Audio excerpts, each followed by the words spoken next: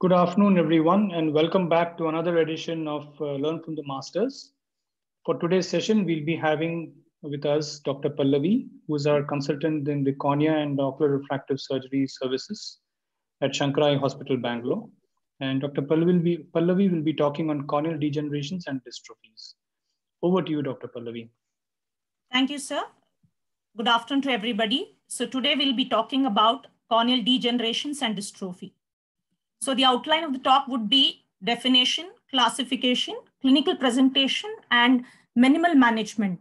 The topic is very vast and covering everything in detail would not be possible. So what are corneal degenerations?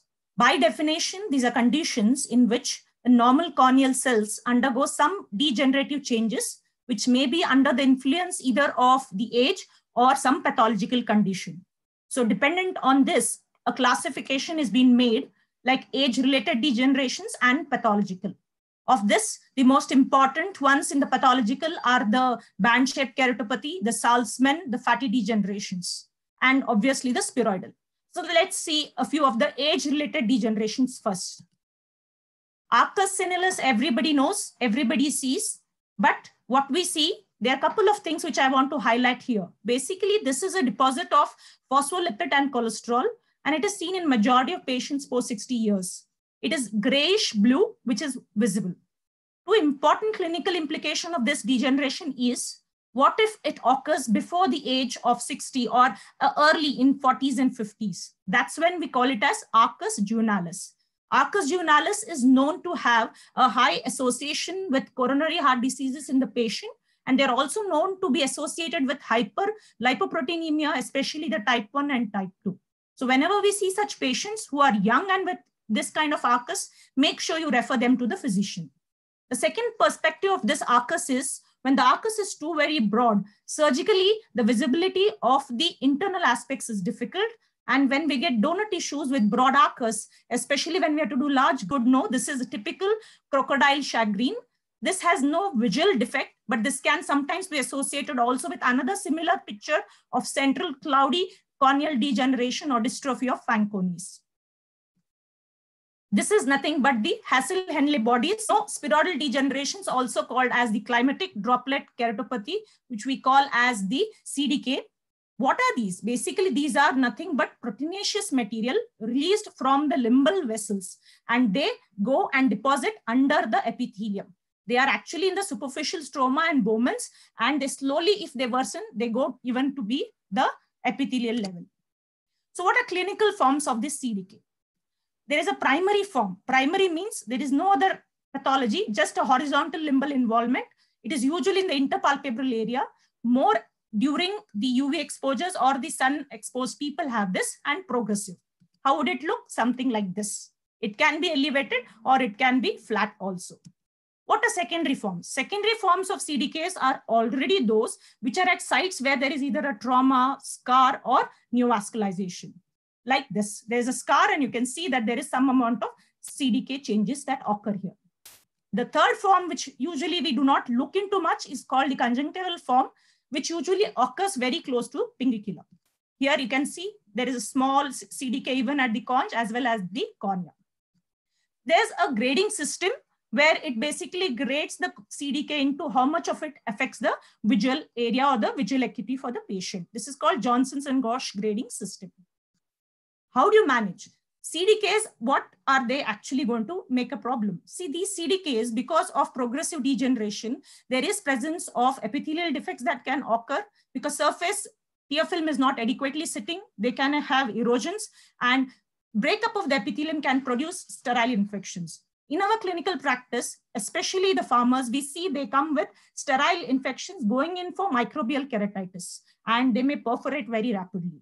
In my experience, 80% of CDKs with secondary infection are usually streptococcal pneumoniae, but mind you, there can also be fungal infections, which can be mimicking there and may look as if it is erythematous ulcer or a neurotrophic. So we should be very careful to look at the other eye as well as surrounding sperules to see. Depending on how big and how large and to what depth it is, the CDKs can be managed with superficial keratectomy, with or without amniotic membrane, you should be very careful not to go too deep beyond the Bowman's. If you go beyond the Bowman's, you're invariably thinning the cornea and also causing scar. Some cases can be handled with PTK after smoothing the surface or by using some kind of you know, uh, substance to mimic up that area into a leveled form. Very deep areas, we can do lamellar keratoplasties like SALK, where you just remove the 100 or 120 microns of the top tissue and put another similar tissue, even it can be a glueless procedure. Very large, involving the whole cornea would invariably require a keratoplasty. Salzmann's nodular degeneration, another pathological degeneration we see. These are progressive and they are grayish white nodules. They are anterior to the Bowman's and usually they are in the periphery and mid periphery end of the limbus. What's very important about Salzmann is it sometimes can progressively produce surface problem, watering and redness. And the most commonest condition associated with Salzmann we tend to miss is the meibomian gland dysfunction. So whenever you see a patient coming with, you know, uh, non-specific complaints of watering, irritation, dryness of surface, look at the glands and look at these uh, meibomian surfaced lesions which are there. Usually it occurs following chronic corneal diseases, like the classic of this would be recurrent flictins, VKCs, or trachoma patients. They can be idiopathic also. Patients usually are asymptomatic in a small amount of them also. Salzmann, very nicely, superficial keratectomy can be done, but recurrence is known to occur. PTK can be done as an adjuvant, but not as a primary therapy here. This is the commonest, again, one of it that's called the calcific degeneration, also called as the band-shaped keratopathy.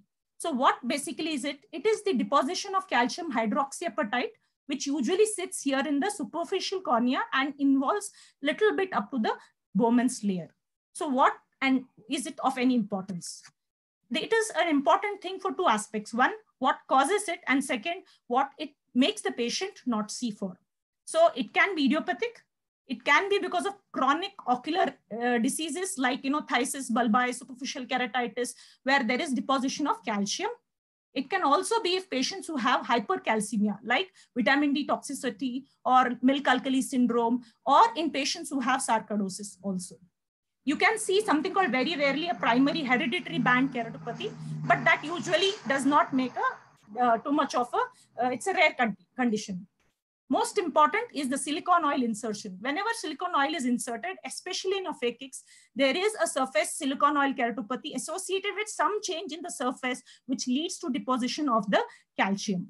It can also occur in patients with chronic renal failures in whom there is elevated phosphorus. So whenever you see these patients with BSK, don't tell, oh, this is just a degeneration.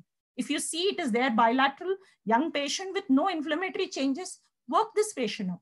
Look whether he has any systemic disease, what is causing it. How do we treat them? We usually treat them with EDTA chelation. Here, just two points to tell. PTK is not a very great thing in BSK patients because it usually is very irregular and does not produce great outcome. EDTA is known to produce good results. Usually 0.5 to 1.5% of the solution is taken. When it is warm, it is better because it helps in chelation. Epithelium has to be removed before application.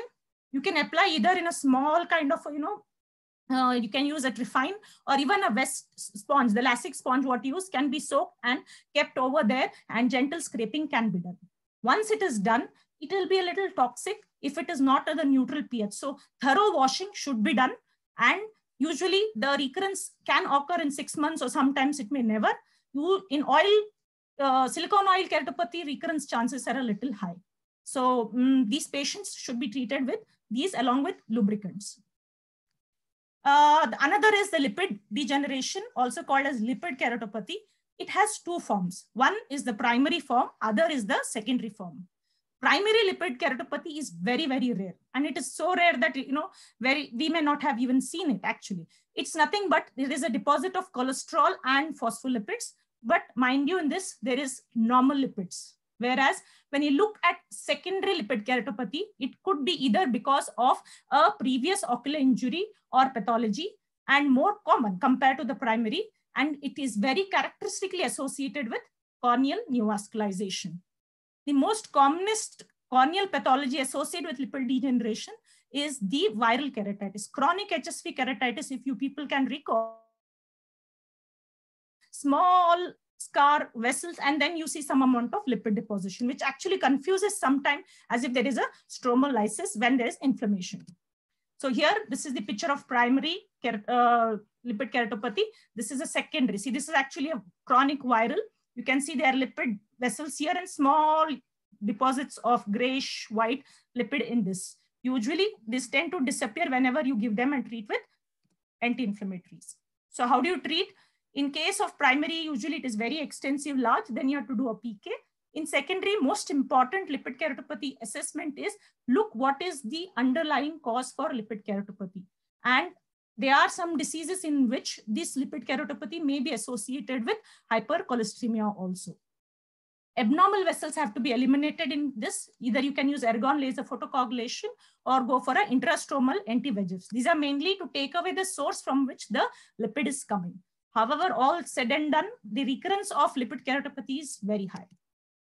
So coming now, this was about the corneal degenerations. So I would like to now go ahead with the corneal dystrophies. So how are corneal dystrophies different from degeneration? As I just told that degenerations are progressive and they tend to usually occur because of either age or some kind of pathological change. But corneal dystrophies have a slight difference, though there is a small gray zone where degeneration dystrophies may overlap. So the term corneal dystrophy was actually coined as early as 1890. And it is defined as a dystrophies typically means group of inherited disorders that are usually bilateral symmetrical and slowly progressive and not related to any environmental or systemic factors. However, having said this, there are exceptions for each part of the dystrophy that has been mentioned.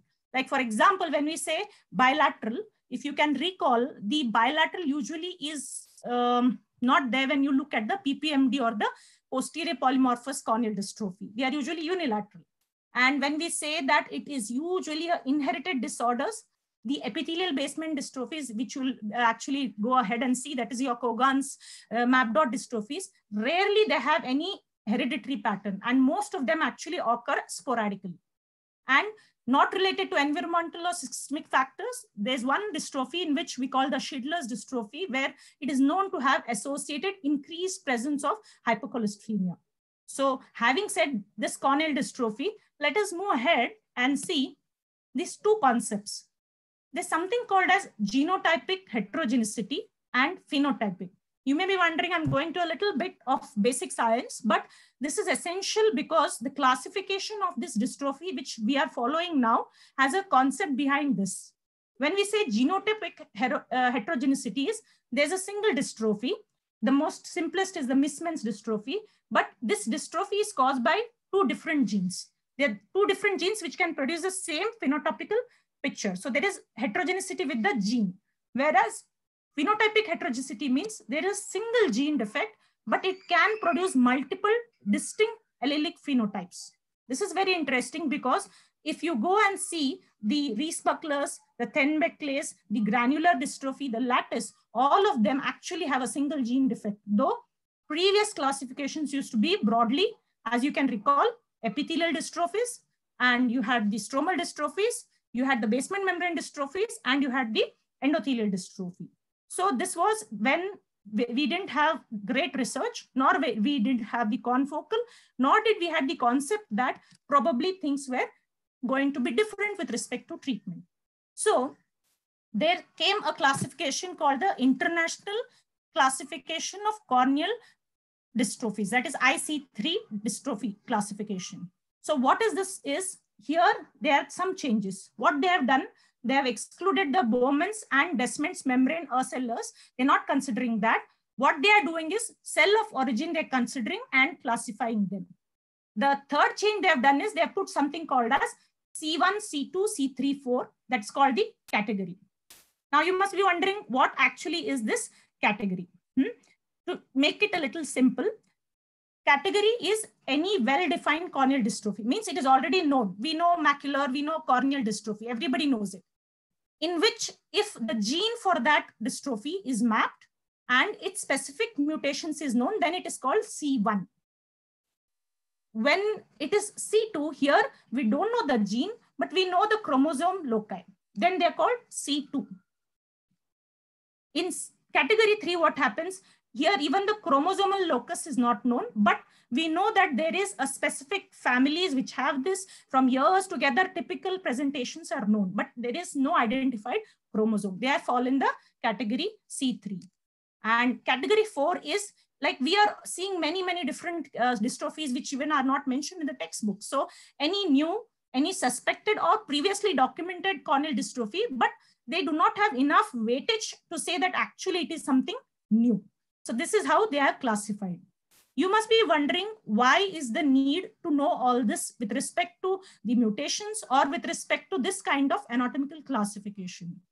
As we are futuristic population and we know that nowadays research is towards gene targeted therapy and second which is very exciting is something called as the mesenchymal stromal stem cells they are doing a lot of search and research where in especially the stromal dystrophies these mesenchymal stem cells are being identified and they are going to be used probably as in form of some drops or some kind of an injection to take care of prevention of progression of the disease. So that's where these all things come in.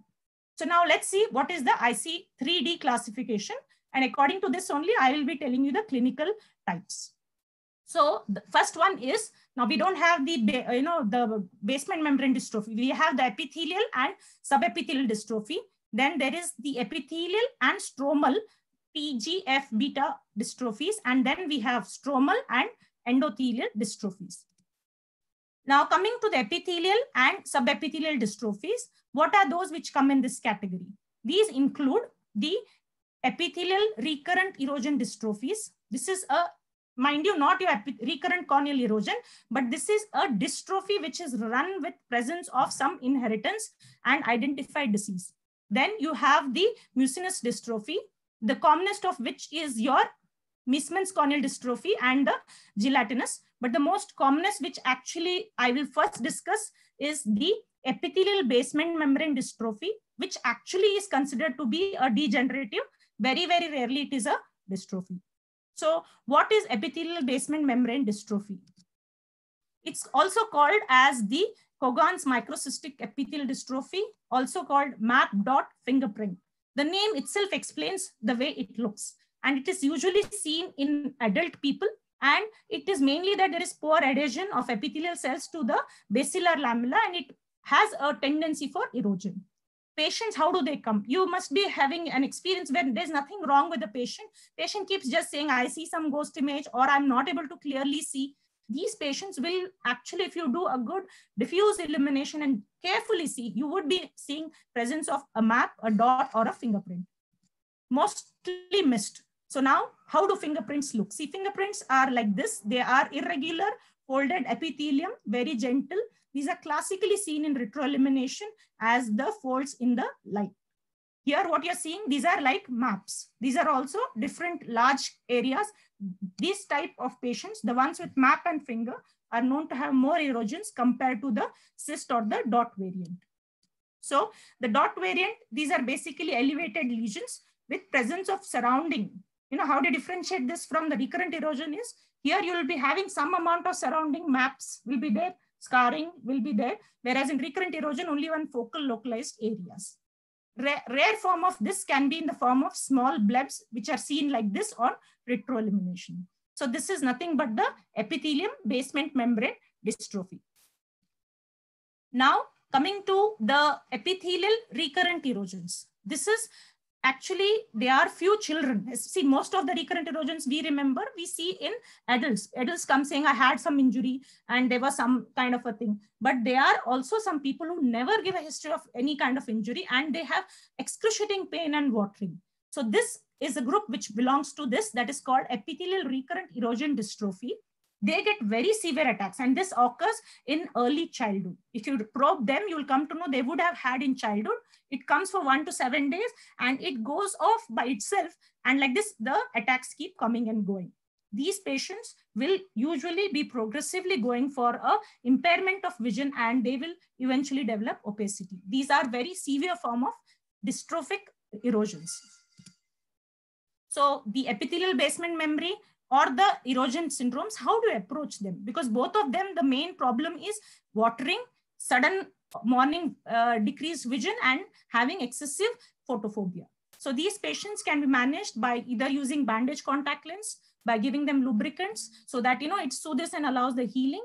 And if there is a loose epithelium of around, you know, two to three millimeters, you can go for the debridement. Some people also, when they find there's a whole sheet of moving uh, epithelium, the whole that is called a superficial epithelectomy is done. However, I am not in favor because there's high chance of infections that we see with them. And the most important of these is the anterior stromal puncture.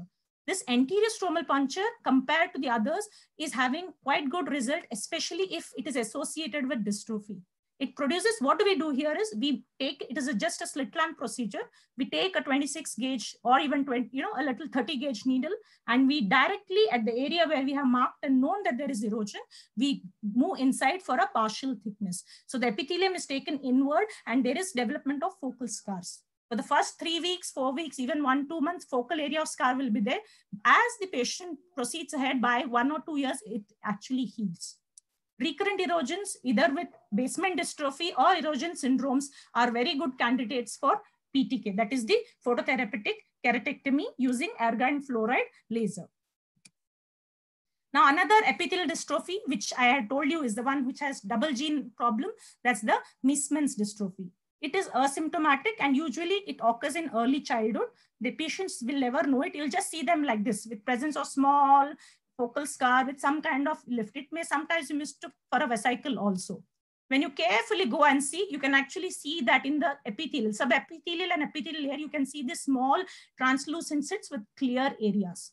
This can also have sometimes we never understand what is this scar many times we see this there's a focal tongue shaped scar just subepithelial so this is very typical of a long standing Meesmann's patients usually do not need any treatment and they're 99% of the time usually asymptomatic. So coming to the last of the epithelial dystrophy, we finished the epithelial basement membrane. We finished the epithelial dystrophy of erosion, Meesmann's, and now this is the gelatinous drop-like dystrophy. This is basically an amyloid deposit. And this usually occurs in the first or second decade. Patients are very, very symptomatic and they have excruciating pain and watering and erosions also are known to occur. They progress with this and they can even become as large like a mulberry. And sometimes there's, you know, they end up with a total opaque cornea looking like a fruit. Okay, it's called as the kumquat fruit uh, uh, stage can also occur. This treatment for them, again, we can go for a PTK or we can even do for them the PKPs if it is very extensive. But unfortunately, there is again recurrence. You see, this is post-PK. You can see the recurrence of these mulberry gelatinous droplets again on the graph. So let's move uh, to the epithelial stromal. So we finished with the epithelial. So these have disease, uh, dystrophies which affect both the epithelium as well as the stroma. So in this classification, just notice before you had these two as the epithelial basement membrane diseases. Now they are all clubbed together. And what is missing here is the macular dystrophy, which was there in the old classification. So here you have Reis-Buckler's, the Thiel-Behnke's corneal dystrophy, lattice dystrophy, and granular type 1 and type 2. All these are important. So one by one, I will be explaining to you with pictures. So what is Reis-Buckler's? Reis-Buckler's dystrophy is also called actually as a geographic corneal dystrophy. It is a geographic wedge spread as if there is a mesh-like thing, okay? Whereas if you see the Thiel-Behnke, which both actually are very difficult to clinically differentiate, subtly it is known typically as a honeycomb-shaped corneal dystrophy. You can see here clear spaces and there is presence of the like a meshwork that is created. Both of this appear as if they are the same in clinical picture, very difficult to differentiate. But some salient points which we should know is the Reis-Buckler's usually tends to occur with very high recurrent erosion, whereas in the Thiel-Behnke, the pain and progressive, uh, you know, clinical course is difficult, is less. This is very aggressive in RCBS, whereas it is less aggressive in these patients. Sensations are usually reduced in the Reis-Buckler's variant. And these can go with opacity also. Treatment of whether it is Reis-Buckler's or Thiel-Behnke, they have tried, uh, you know, DALK, SALK, as well as PTKs. Whatever is done, the chance of recurrence of this is known to occur. However, the prognosis is better with the Thiel-Behnke's dystrophy. These patients actually do well when you give them scleral contact lens. Vision will not be that bad in these patients. Coming to the granular dystrophy, uh, granular dystrophy has type 1 and type 2. What is now classified as type 2 is actually nothing but a Avellino dystrophy, where we were always traditionally told that it is a combination of granular dystrophy and lattice. What is a granular dystrophy? It is nothing but there is presence of hyaline deposit. What is there here in the stroma and subepithelium is the hyaline material. And it starts like it's also called as the crumped appearance. Classically granular, if you can always recall, is differentiated by presence of clear spaces in between. Whereas in type 2, you will be able to see apart from these you know, granular dystrophies, you can see the star shape or elongated rods, which look like lattice. So now this is a picture I will show, which we usually end up seeing in our clinical picture. And we have wonder whether it is Avellino, lattice, or what. Okay, so see this. Here, if you see, you feel that there is obviously looking like there is lattice picture as well as there are presence of some amount of granular dots. So it, we would think that it is probably a Avellino combination of two. Avellino name comes basically from a small you know, place in Italy where a group of people had this. Nowadays, nobody uses this terminology because it is now classified as nothing but granular. Even those lattice things, what are seen in Avellino are basically nothing that doesn't even show that there is an amyloid. Huh? So how do you differentiate between the two? So see in this picture, I've magnified here, you can see that there is presence of this branched pattern which look refractile. And if you go to compare, uh, sorry, when you compare it to the adjacent things along with the scars, what you're seeing, they are interlacing. So whenever it is lattice, the lattice marks will always be refractile and they will be interlacing with each other. Whereas in Avellino, you will be seeing this more as white lines and they never interlace. That is where you can differentiate whether it is both Avellino or lattice. Hmm? That is the differentiating point here. Okay. So what is the course in patients with granular dystrophy? Usually it can come as early as the age of three or those may come, you know, by, you know, eight, 10 years when children have this and they tend to usually have watering and photophobia. There are a lot of teens who come, vision is good, they're not bothered, but what problem is, is there is presence of watering and discomfort. Slowly, it starts decreasing with age, the vision, and the visual axis gets affected. Pain accompanies these erosions most of the time. So treatment for granular is as any other, if there is a presence of erosion, you can give them the contact lenses. And yes, these are very good candidates for going for a PTK or even going ahead with a SALK. And 80 to 90% of these actually do not need any kind of surgical intervention because invariably they're very happy with the bilateral vision of around 618 and with the contact lens correction of 612 part or 69 sometimes. So let's go to the next, that is the lattice. So lattice dystrophy, we remember classically we were told type 1, type 2, type 3, but now it is just put into two forms that is lattice type 1 and then it is called as the variant. So here what is deposited in granular we have hyaline, in lattice what is deposited is amyloid. Okay, so we have one which is called as the type 1 and the other which is here which you can see is the variant of lattice. It may be the 2, it may be the 3 or the 4 variant. So how are these two different and why is it important for us to differentiate, isn't it? So please understand in type 1, they are refractile and they are very thread-like and they are thick. They are so thick that you can actually see them elevated and they extend up to the deep stroma. And classically, these usually are the ones who do not have a limbal involvement. So I will go back to the picture. This is the type 1. You can see they are thick and they're extending from center to periphery, but they do not involve the limbal area. They're very thick eh, things. Whereas here you see they're starting from periphery. They are very fine and they are meshed. This is classic of a variant of lattice and it could be type 2, type 3. Why is the variants important?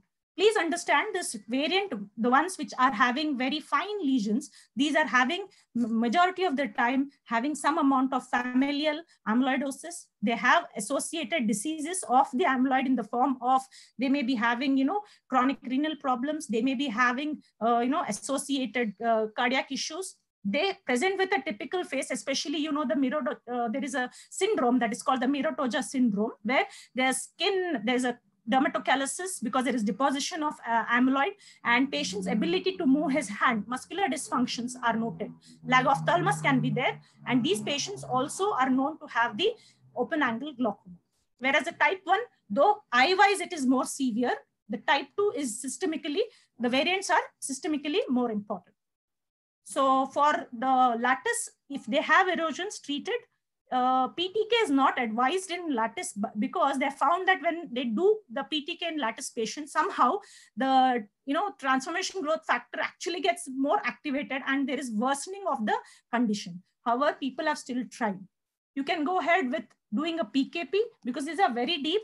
DALK may not be the right choice, but recurrence of the lattice is known to occur and the picture of the lattice in the graph will be little different compared to what you see in the uh, you know normal form most important for the variants whenever we see and we are suspicious of the patient having fine refractile they are coming from limbus to the center make sure that we refer the patient to the physician to rule out systemic effects of the amyloidosis okay so we finished the Reis-Bucklers Ten Beckley granular dystrophies and the lattice. Now they all are in the category of the epithelial and stromal disease. And they all are related to one single gene. That is what I had told you about the heterogeneity. That is the transformation growth factor beta mutations. Now let's go to stromal. Stromal now has most important, that is a macular corneal dystrophy. And you have the flex and the Schnyder's corneal dystrophy. Let's discuss about macular dystrophy macular, uh, just to emphasize, the most of other dystrophies which I have discussed till now are all autosomal dominant. Macular dystrophy is autosomal recessive and it occurs in the childhood. And here what is deposited is basically the glycosaminoglycans.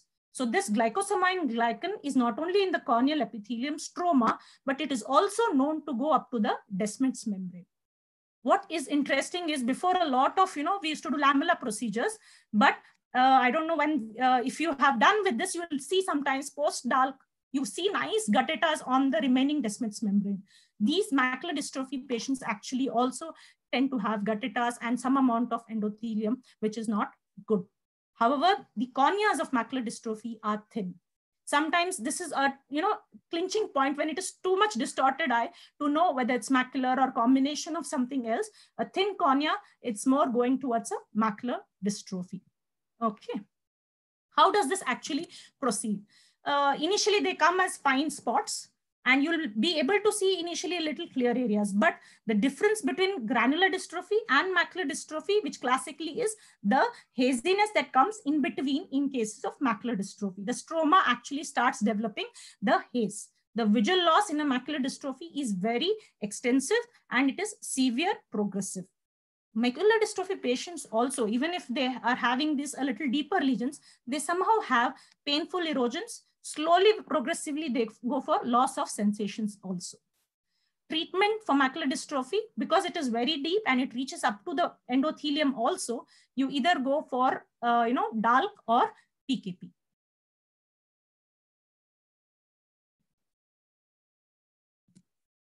So just to give an example of how it is when you do, this is the picture of the same patient. Actually, one patient I have done a DALK and this is post two years, you can see actually peripherally, the lesions of the macular dystrophy is coming back. Whereas the other eye, it's now more than one, two years nearly also. This is now five, six years. Have, there is no recurrence. So actually in the retrospect, I've done a lot of DALKs, but I feel PKP is ideal to be done in macular dystrophy patients. Or now what we try to do is probably do a DALK and then go and do an NDSEC. That also is something which can be done, but uh, outcomes are nearly the same. Am I uh, audible?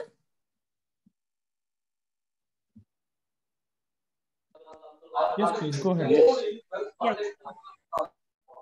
Okay.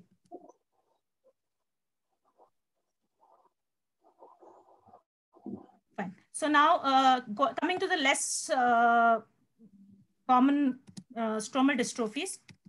Uh, that is the Schnyder's corneal dystrophy. Uh, this basically is a dystrophy which has nothing but a crystalline appearance. It occurs usually in the third and fourth decade. Patients complain of decreased vision in the, you know, um, photopic. Scotopic vision is good because people dilates, but there is presence of classy, uh, shiny, well-defined lesion usually in the center. As the age progresses, these patients actually develop a rim of peripheral cornea also involving in the whole cornea gets opaque. Uh, the differential for this kind of this could be crystalline keratopathy because of infectious condition. Sometimes it can be a differential for lipid keratopathy, but this is classically a bilateral condition. And sometimes this is known to have some amount of cholesterol abnormalities. Uh, flex dystrophy, it's just for completion. It's basically like a snowflake. Usually we see it in the posterior stroma. They're like small snowflakes. It does not affect the vision and nor it has any other this. It's just that there's altered change of the keratocytes in the stroma. Coming to the last aspect of the dystrophies, that is the endothelial dystrophy.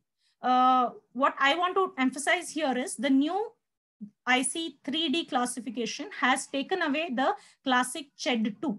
We had something called as CHED1 and CHED2. And the CHED1 was considered to be autosomal dominant, less affected, you know, occurring a little later with better prognosis. Whereas the CHED2 was considered as autosomal recessive, more progressive and affecting early. Later, a lot of studies have been done and they have found out that the ones who looked like CHED1, the autosomal dominant, majority of them belonged actually to the variants of the posterior polymorphous corneal dystrophy, also the PPMD, what we classically call. Uh, the commonest what we see is obviously the Fuchs. So let us go to the Fuchs dystrophy. So Fuchs dystrophy, this usually begins in the fourth decade or later. Begins in sense, I mean to say the symptoms of this disease begin at late there are around few patients in these who actually do not have a genetic predisposition. We are seeing so many of them in our clinical practice who do not have their, you know, attenders, father, mother, uncle, nobody have the problem. So they can be sporadic. And the genetic inheritance of Fuchs is actually very complex. So it cannot be classically put into something that everything is inherited. That's why not all progress to a worsening of the corneal disease. And uh, females are known to have predominance with this disease. So how there, as you know, clinically, there are four stages. That is, one is the stage one. Stage one, we see these patients. We may see the severe variants as early in the second decade.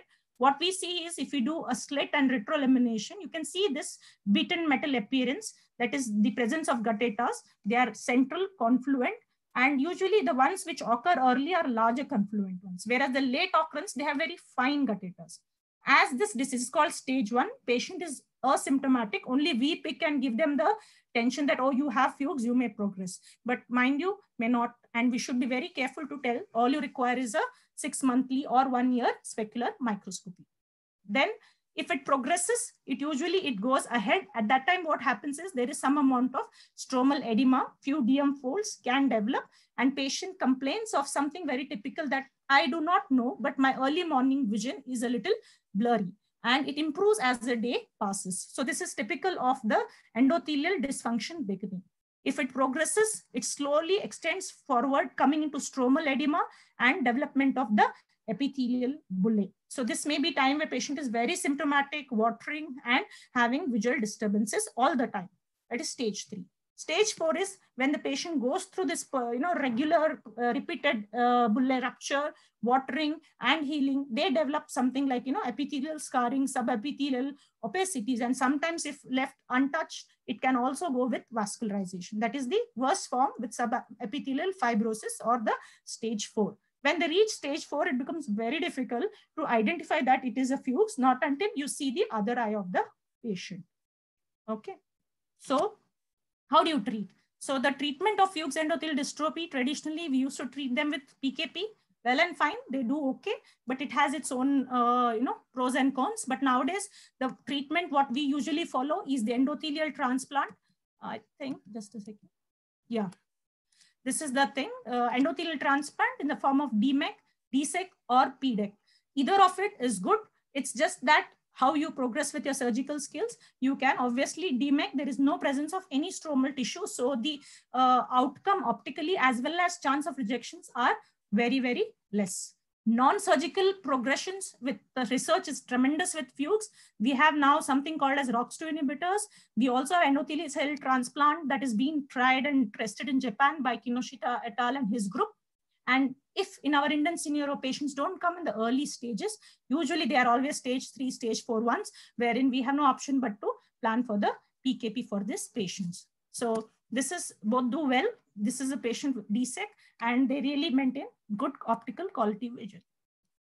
So what is the next? That is the PPCD, also called as the polymorphous corneal dystrophy. We are classically calling it as a PPMD. Uh, people come and usually clinically when first time somebody sees, they say there's some tear. This is the typical, we see the snail track degen uh, thing on the endothelium. And we can also see the small vesicles which are present at the Descemet's layer. So this usually is unilateral and 80% of them are non-progressive, never complain also. Some of them rarely may have some amount of corneal edema. Our diagnosis is classic on slit lamp and specular. You get the uh, pathognomic, what you call the donut cells, where you see the hyporeflective, hyperreflective borders and again a hyporeflective, the donut cell, which is there. And one point to differentiate this with the Fuchs is Fuchs usually has a thicker cornea, whereas the PPMD patients have a thinner cornea. Hmm? So the next one is the CHED. CHED we know is the hereditary endothelial dystrophy. Basically, it is a defect in the Descemet's level rather than it being at the endothelium. It is bilateral. This is also other dystrophy, which is autosomal recessive. Um, the one I had told was macular dystrophy. Usually these come, the CHED type 2 autosomal recessive are the ones who come with blurring of vision. What is classically taught is they have cloudy cornea, which is like a ground glass and patient has no pain or watering. The, typically to differentiate these people, if they are coming with at infant uh, age, probably to differentiate the buphthalmic eye. Progressive CHED can go with changes occurring on the surface with development of some gray spots. And I, we have also seen the development of a band-shaped keratopathy, especially on the edges of the DSEK patients, the CHED patient's eye. And these also are associated to have the association of an elevated intraocular pressure and endothelial count obviously is less.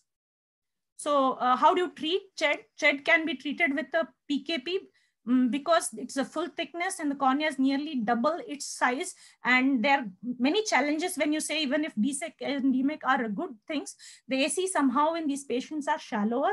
And because of the thickness of the cornea, non-visibility, the outcomes are good but it takes time. Now, this is a picture of a patient who I have done a DSEK and now initially I have been wondering, you know, she'll remain like this, like this, like this. And over six months, it took six months for her peripheral things to heal. And this is a picture of actually after a year where it has cleared and she has good constable vision, but somehow not very happy. Some amount of, you know, edge traction or fibrosis, which we normally don't see in the uh, other endothelial transplants, probably because the Descemet's membrane is very thick. But however, still, if possible, ideal is, a, you know, PKP DSEK can be done in these patients. They are bilateral, so we have to be doing it as early depending on how much the vision loss is. Coming to the last variant of this endothelial transplant, uh, this endothelial dystrophy, this is the X-linked endothelial corneal dystrophy. It is uh, usually, I have not seen it. So this is actually a picture I've taken from the Cornea Journal uh, which is X-linked. So the male child is usually affected. And what is classically described is when you do retroillumination in the mother, because she is a carrier, they are not affected. You can see this kind of moon crater sign. That means the endothelium on the uh, cornea of the patient will have this moon craters like, uh, you know, uh, patchy, patchy uh, craters are noted. This is seen at birth and is known to be minimally progressive. But however, for the visual, this the child may have to undergo the keratoplasty at earliest. So with this, I would be actually ending my talk with the small take home message that corneal degenerations, dystrophies of very frequent in clinical practice. It's only that we sometimes actually overlook and don't connect. So we have to be careful and majority of these patients need some form of treatment. Either it is the lubricants or the treatment for the surface problems and surgical are the more definitive for them. The problem being the recurrence. Dystrophies, since they are bilateral progressive, the corneal transplant is needed in 60% of these diseases. It has its own challenges since it's bilateral, the interval of doing surgeries, and close follow-up of these patients. Most important, systemic diseases are associated with even the degenerations and dystrophy. We should have that one point of thought, deeper pause and look at a patient and make sure that we screen them for these diseases. So with this, I end my talk and uh, thank you.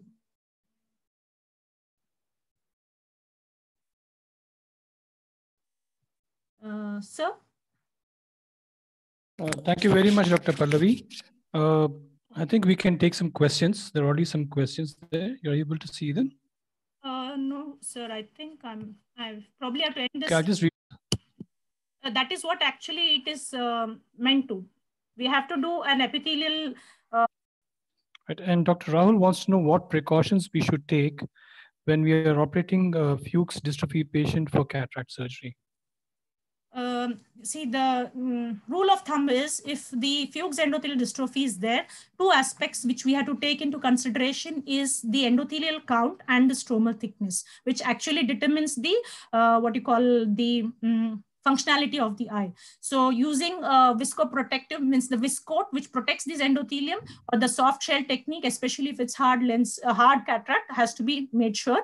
I personally don't uh, prefer only a cataract surgery if there are grade four guttetas and the count of endothelium is less than 1000 or the stromal thickness is more than you know 600 better to do a staged uh, endothelial transplant along with cataract or uh, you know combined case Dr. Vandana Sundaram is asking why is PTK not the primary treatment for band-shaped keratopathy, especially when its recurrent rates are less with PTK than, with EDTA chelation?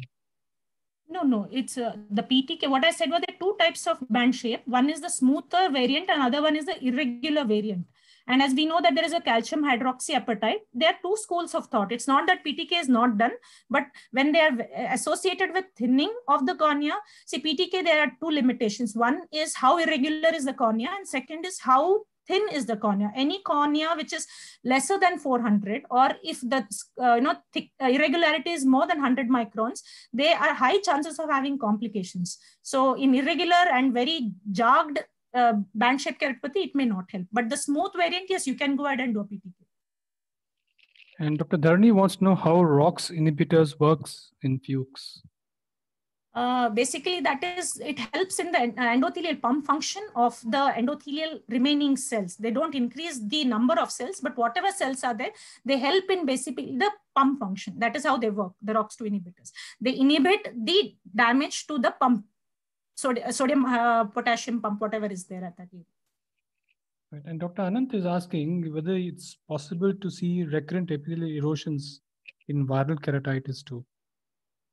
Uh, I didn't get the question, sir. In what, sir? In, uh, whether it's possible to see recurrent epithelial erosions in yes. viral keratitis.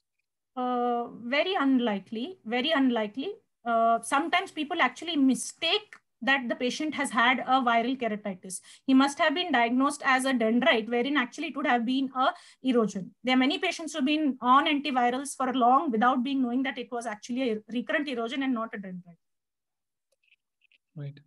Uh, Dr. Raki is asking, what are the chances of recurrence for a Reis-Buckler after a DALK or a PTK?